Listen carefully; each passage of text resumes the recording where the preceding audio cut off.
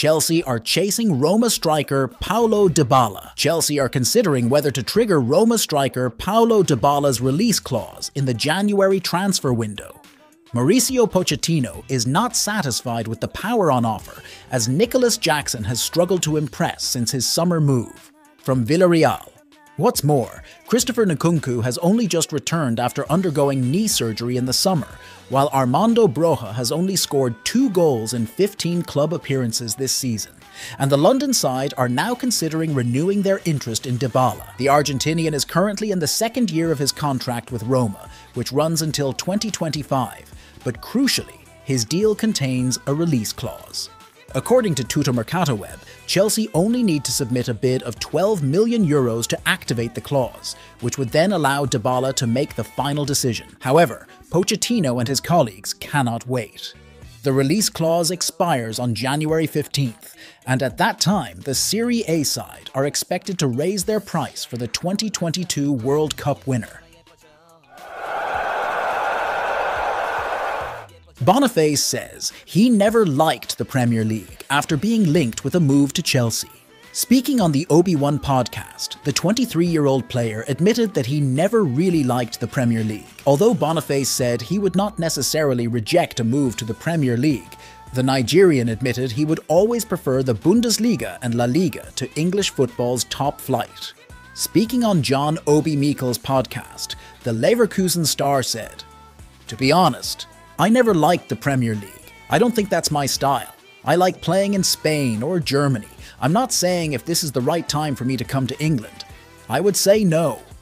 But what I want to say is that when I was young, I really liked the Spanish and German leagues because of the way they were played. But I'm not saying I would refuse to come to England. But I said if I had to choose one, I would play in Spain.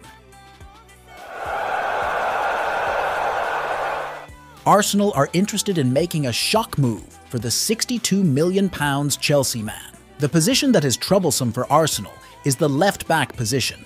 Oleksandr Zinchenko's form has dipped in recent weeks, with teams targeting his area and attacking from there. According to journalist Simon Phillips, Arsenal are now reportedly interested in bringing in Chelsea star Marc Cucurella next January. Although January could be difficult, the Chelsea writer admits he has heard rumours of a possible transfer to Arsenal. Phillips said, I'm still hearing that the most likely scenario is that we wait until the summer to sign a new left back, but something could develop with Marc Cucurella. I've heard some whispers in the last week about a potential move to Arsenal, but nothing is certain yet. But the problem is the injury, so that could make any movement this month difficult. Chelsea are open to selling him now, and he will definitely be sold in the summer, Mauricio Pochettino responds to Jordan Henderson transfer link as Liverpool could make millions. The former Reds player is looking for a way to return to European competition after six months in the Middle East. Henderson is reportedly looking to return to the Premier League, according to the Daily Mail, around half a year after leaving Anfield for Saudi Arabia. His time at Al Ettifaq has not gone to plan. The club have not won a game since October, while the decision to move to the Gulf country caused controversy after he became a vocal ally of Liverpool's LGBTQ community. With the Saudi Pro League currently on winter break, Henderson will only return to action in mid-February. However, he is said to have told his teammates he was thinking about his future before leaving on holiday. Chelsea is one of the clubs that has been linked with a move for Henderson, but Pochettino revealed nothing when he spoke after his side's win over Preston in the FA Cup. To be honest, we don't talk about names. At the moment, we are not talking about bringing in players. I see Behdad Eghbali here in the manager's room with Paul Winstanley and Laurence Stewart. I think tomorrow we will chat, because we will be at the training ground. We don't talk about names or talk about positions. We don't talk about bringing in players. For now, we are focusing on players like Andrey Santos to see what we will do.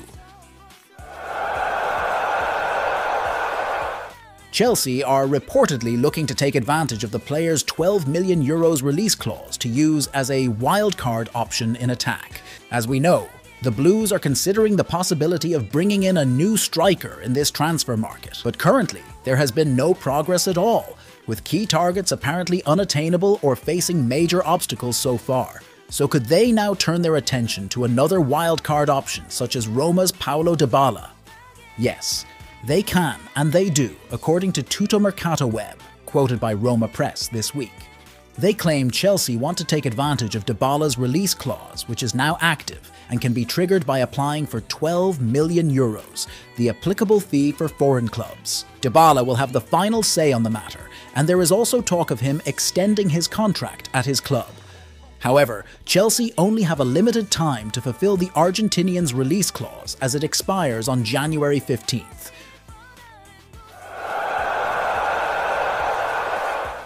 Fabrizio Romano has responded to recent Chelsea transfer rumours linking the Blues with Girona striker Artem Dovbyk, branding them fake news, and playing down the possibility of the informed striker moving to a new club this January.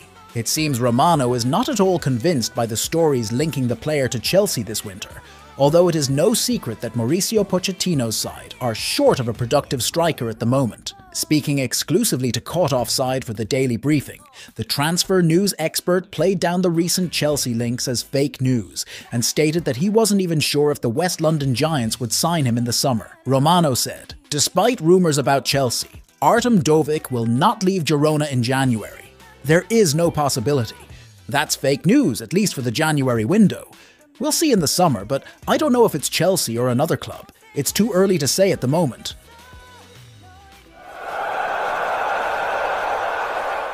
Ian Maatsen is open to joining Borussia Dortmund. Fabrizio Romano via X has confirmed that Borussia Dortmund has submitted a loan proposal to Chelsea for Ian Maatsen. Further details will be revealed as negotiations between the two clubs progress. Romano also revealed that the Chelsea left back is open to joining the German club on loan. The move will give him valuable playing time, especially after a challenging first half of the season at Stamford Bridge. Maatsen has not been a regular starter for the Blues and has often been on the bench. Apart from that, Mauricio Pochettino's tactics have displaced him from his original position. A transfer to Dortmund will now give Maatsen the opportunity to get some much needed playing time. Currently, Pochettino has a good choice in the left back position. With Ben Chilwell returning to training, Maatsen's playing minutes are expected to decrease. During a period when all the regular fullbacks were injured, the Argentinian manager showed a preference for Levi Colwill in the left back role. This situation should encourage Maatsen to look for playing minutes on other fields. Even though he has talent as a left back, Pochettino's reluctance to use him must have a reason behind it.